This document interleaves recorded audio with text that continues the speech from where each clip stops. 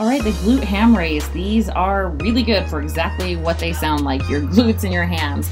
So you wanna get that back position where your feet are relatively close to that pad that my quads are on so that my knees can duck down at that top position there.